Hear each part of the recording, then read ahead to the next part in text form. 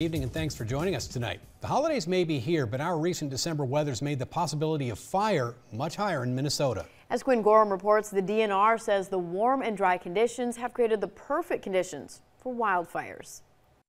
This is definitely unusual for December in Minnesota. The month of December is halfway over, and most of the state has little to no snow cover. Well, we've actually been pretty dry for much of the year. You know, we went into pretty severe drought uh, during the summer into the fall. Todd Krause with the National Weather Service says the weather is certainly abnormal, but it's unclear how long the warm, dry conditions will persist. Even with our current El Nino, we could still get snowy and cold later on this winter. Regardless, the high temperatures, low moisture, and dormant plant life are the perfect combination for wildfire. When we don't have that snow cover, it does make a big impact on the fire danger because of the available fuels for a wildfire to start and then spread. Since December isn't usually associated with a high fire risk, Karen Harrison with the Minnesota DNR says people may take the warning less seriously. So people are thinking it is winter, it's okay and safe to burn.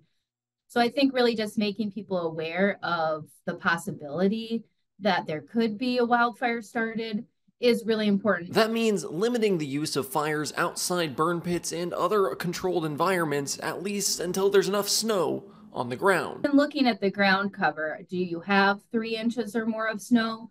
Then it's, you know, safer to burn. In St. Paul, Quinn Gorham, KEYC News Now. The DNR says when in doubt, don't burn if you can avoid it.